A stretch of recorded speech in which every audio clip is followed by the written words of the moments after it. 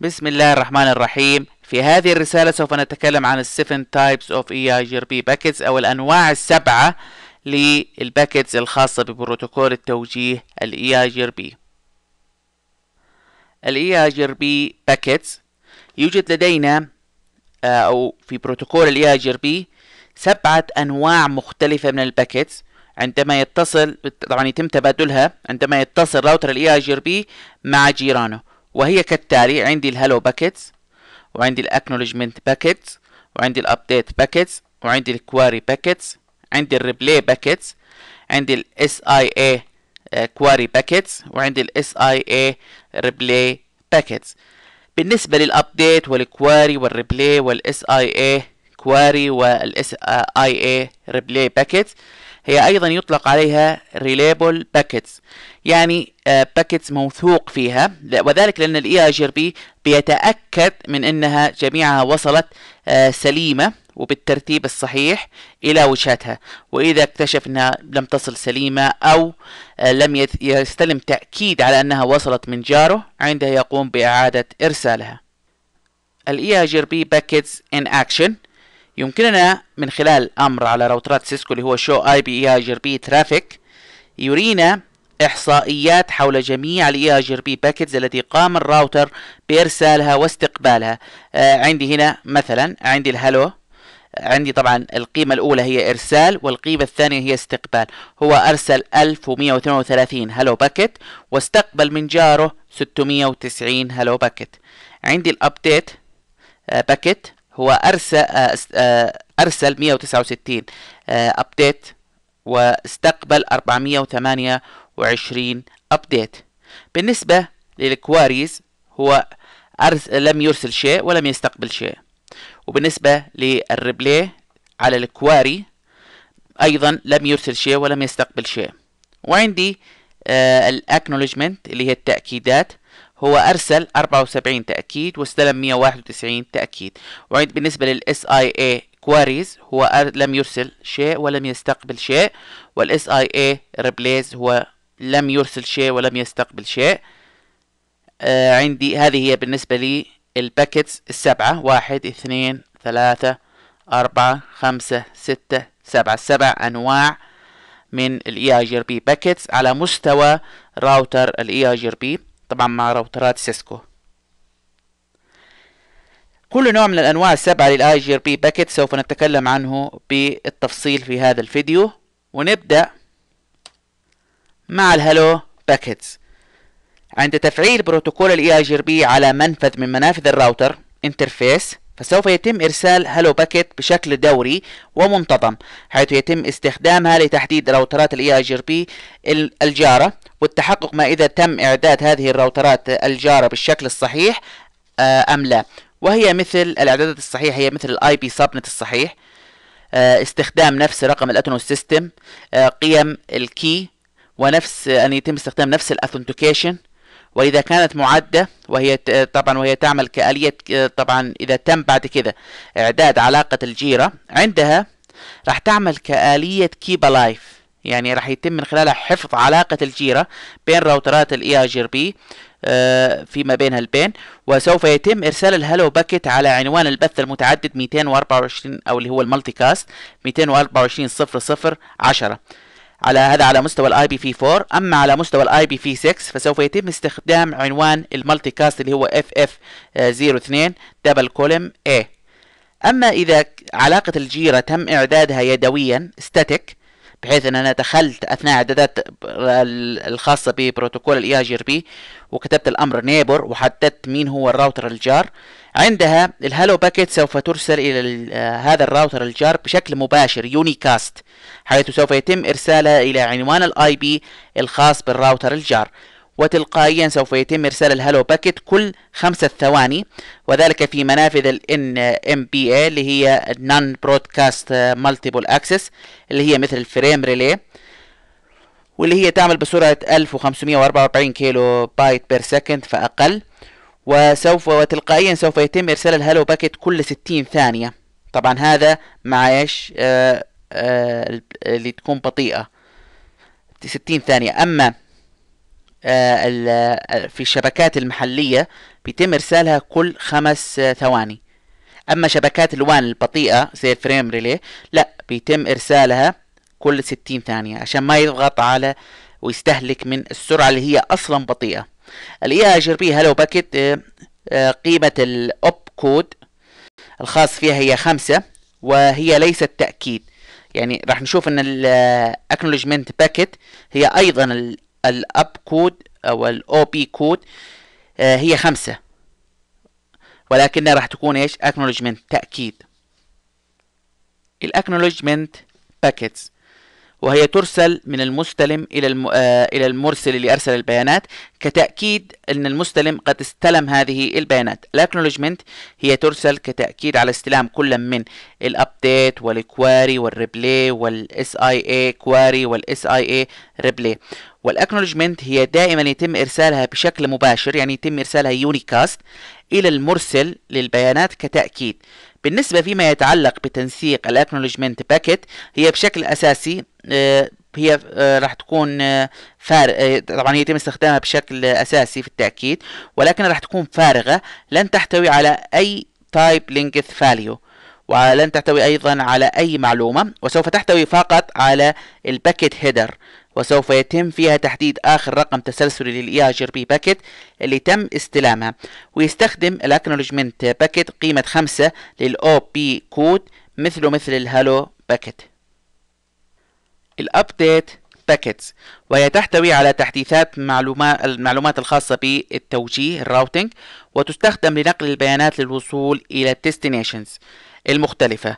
ال update packets من الممكن أن يتم إرسالها unicast أو multicast ولإرسال ال update packets في الحالات التالية عندي عند إنشاء آه، وبناء علاقة جيرة جديدة. سوف يتم إرسالها unicast إلى الراوتر الجار الجديد اللي تم اكتشافه.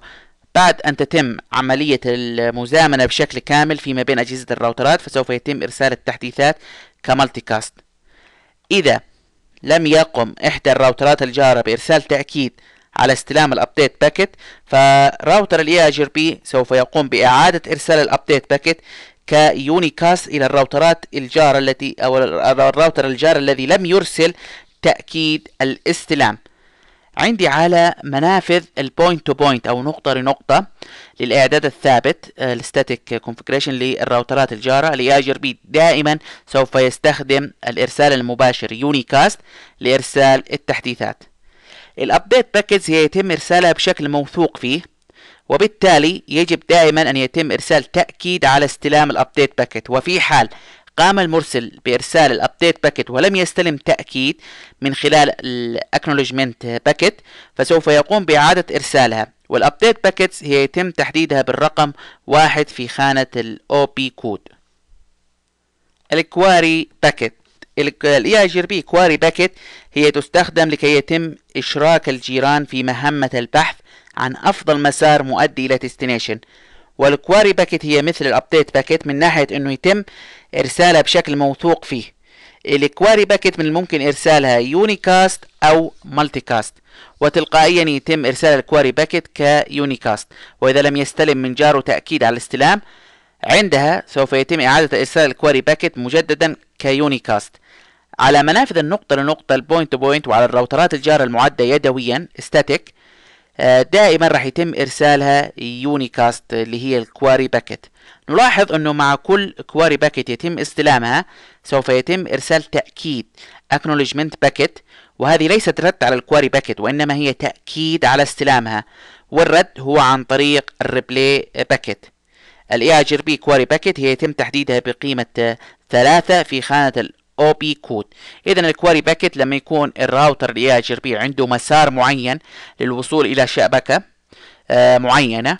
ولكن هذا المسار انقطع وحصل فيه مشكلة. فعندها راح يرسل query packet يعني هي عبارة عن استعلام إلى جيرانه اللي هو متصل فيهم وبينه وبينهم علاقة جيرة EIGRP يسألهم ويستفسر منهم آه هل يوجد لديكم مسار يؤدي إلى هذه الشبكة لعل يعني على أساس أنه قد يكون لدى هذه الراوترات مسار آخر يؤدي إلى هذه الشبكة اللي فقد راوتر ال EIGRP المسار المؤدي إليها. ولابد أن تقوم الراوترات اللي تستلم ال query packet بإرسال آه، تأكيد استلام. سواء كان آه، بعد كده الرد راح يكون آه، نعم يوجد لدينا مسار أم كان الرد سلبي لا يوجد لدينا مسار بس في كلا الحالتين لابد أن يتم إرسال تأكيد على استلام ال query packet من خلال إرسال ال acknowledgement packet اللي راح تحتوي على رقم ال query packet الرقم التسلسلي لل query packet كتأكيد على أنه استلم ال query packet من آه هذا الراوتر اللي قام بإرسالها ال reply packets. ال EIGRP reply packets وهي يتم إرسالها كرد على ال query packets وسوف تحتوي على المسافة الحالية لل destination بعد الأخذ في الاعتبار حساب التغيير في ال topology الذي أدى إلى الاستعلام ال query packet.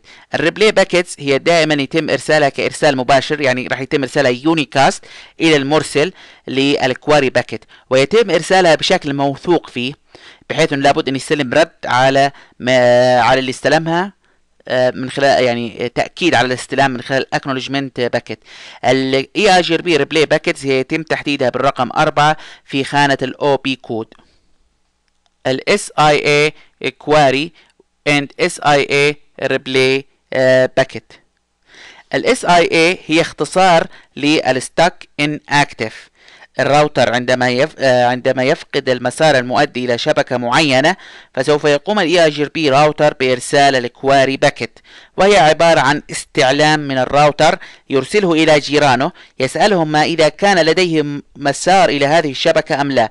والرد هو راح يتم من خلال ال reply packet والفترة الزمنية اللي راح يتم آه، استهلاكها لإرسال ال query packet واستلام الرد عليها من خلال ال reply packet هذه الفترة الزمنية يطلق عليها stuck in active. بحيث الراوتر إذا استلم بيانات مرسلة إلى هذه الشبكة فلن يقوم بمعالجتها لأنه في حالة stuck in active فيما يتعلق بهذه الشبكة. والمدة الزمنية لل stuck in active قد تطول أو تنقص حسب عدد الراوترات في شبكة ال EIGRP ووجود الرد. هل هو في راوتر EIGRP جار قريب أم بعيد؟